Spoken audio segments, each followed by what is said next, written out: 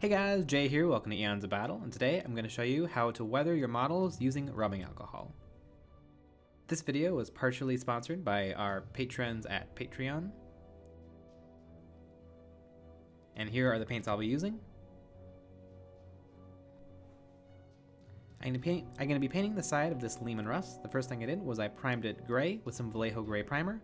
I always like to prime through an airbrush so that I get a thinner coat and then I put on a layer of Vallejo Chainmail Silver.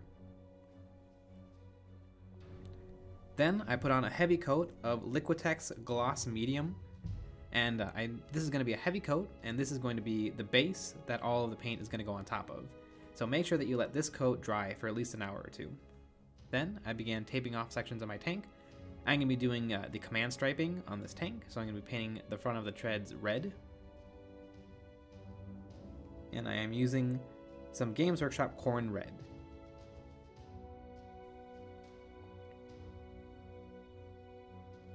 Once that was done, I began taping off so that I could paint the rest of the model, and it's important not to let too much overlap between your layers happen because as the paint gets removed, you're going to start to see some of those underlayers, and so it's always best to try to paint right on top of the metal. So to paint the most, the majority of the tank, I'm using some Games Workshop Castellan Green, and then I'm doing some striping with some Games Workshop Mournfang Brown.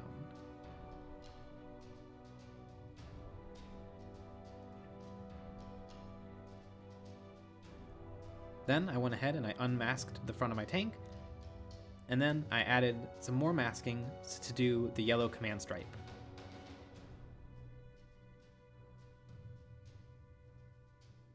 I'm using little bits of, of uh, thin masking. You could also just cut strips out of regular masking tape.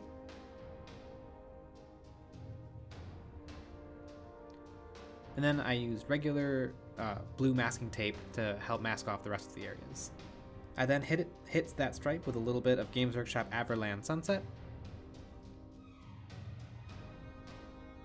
And now I have my top coats of paint ready to go. I then poured myself a little bit of rubbing alcohol, and I got myself a little piece of cloth, and I began rubbing off some of the paint that I had just put on. Now make sure that you take off the raised surfaces first, any areas that would get rub rubbed up against bushes or anything, any areas where the paint would naturally chip off. And then I also made sure to hit the bottom areas of the tank where, uh, where the things would jump up from the ground and scrape them off, or where some of the dirt had rubbed the paint away, and I hit these areas a little harder. You're also going to want to make sure that the rubbing alcohol doesn't pool up on the model too much, because if it pools up too much, it could actually start to uh, peel the paint off just by itself.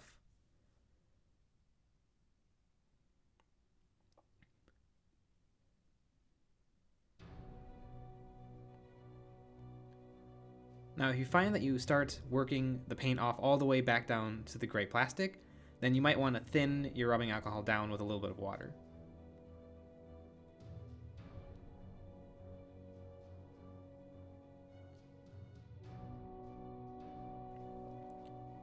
Once my weathering was done, I then went in and added some shadows and some dirt with a coat of Agrax Earthshade. I applied it in a pretty heavy coat because I wanted it to pool into all of the recesses, and then I removed the excess with a little bit of paper towel, and then I smoothed um, some areas with a brush.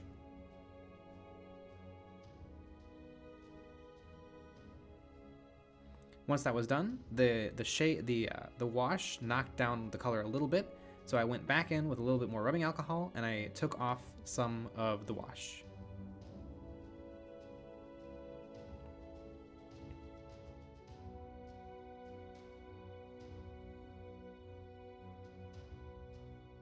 And there is the finished effect.